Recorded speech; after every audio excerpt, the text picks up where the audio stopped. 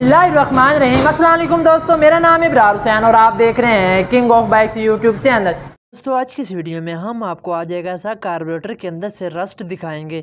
ये रस्ट आपने कभी देखा नहीं होगा और ना ही कभी आपने इसके बारे में सुना होगा। दोस्तों इस बात का आपको मालूम होना चाहिए कि बाइक का कार्बोरेटर जल्दी क्यों ख़राब हो जाता है।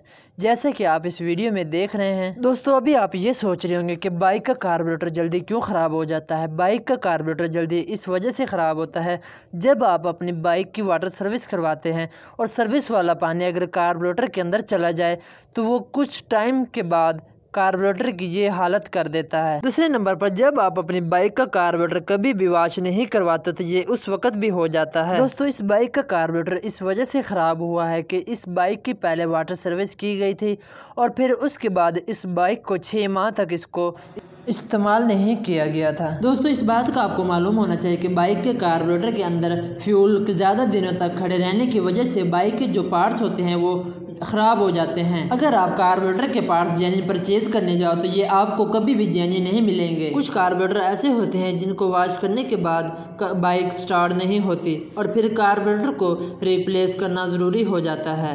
बाइक के कार्बोरेटर के अंदर ज़्यादा दिनों तक फ्यूल खड़े रहने की वजह से बाइक की जो एवरेज होती है, वो डिस्टर्ब हो जाती है और बाइक मिसिंग भी करना शुरू कर देती है। अगर ये दो इशू कार्बोरेटर के अंदर से निकल आए तो समझ लेना आपकी बाइक का कार्बोरेटर न्यू डलने वाला है।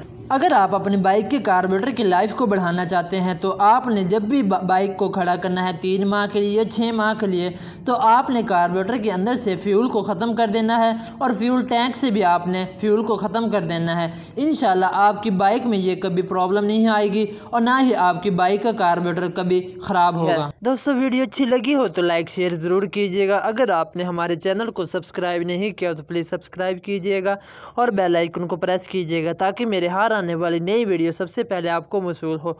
मिलते हैं नेक्स्ट वीडियो में। तब तक के लिए अल्लाह हाफिज़।